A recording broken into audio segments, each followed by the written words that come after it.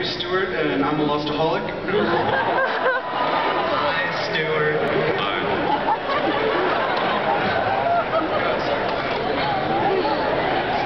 Um, uh, I'm trying to keep my question relevant to this season. So, um, with everything that went down at the Tempest, when uh, Jack and Kate show up and Charlotte says, "Well, if you come with me, I'll just I'll explain everything." Uh, we never really got to see that conversation. So, what did Charlotte explain to Kate, and uh, how did Daniel know about the secondary protocol?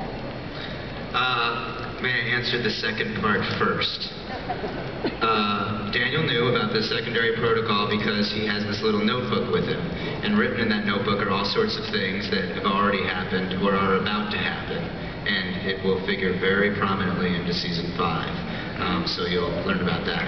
And as for The Tempest, um, the, re- the basically the scene that we never wanted to write was uh, Juliet explaining, or Charlotte explaining to Juliet that there is a station where they manufacture massive amounts of poison gas that could wipe out the entire population of the island, and that they were going to neutralize it as a uh, precautionary measure. Wow, I can't believe I just pulled that out of my ass. Sounds good, right? And for you, sir, we have a large tub of Dharma Ranch dressing.